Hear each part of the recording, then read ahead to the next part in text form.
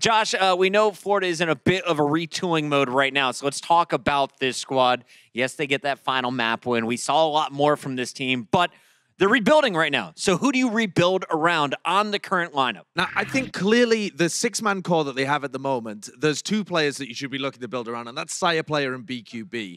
And the, these guys just came into the roster recently. Uh, Sayaplayer was on it for you know the majority of last season. BQB, a more recent addition. You don't like Xepher? They're, they're both very talented. They're both very good players. Sayaplayer's, obviously fantastically talented, a bunch of hit scan, hit scan stuff. McCree, Soldier 76 is Widowmaker, all fantastic.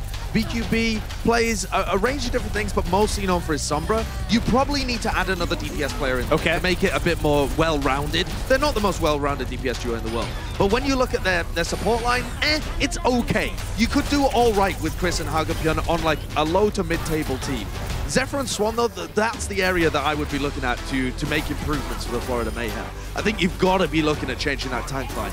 Tank lines drive teams. They're, they're kind of they're the backbone of the entire team. And if you have players that are either underperforming or aren't working well within the system or are making large errors, that's got to be your first choice, in my opinion. All right. Uh, real quick on the DPS player. You said they're retooling, trying to make an all-Korean team. So who are some of the DPS players that are maybe out there on the market you would like to see eventually land up in Florida?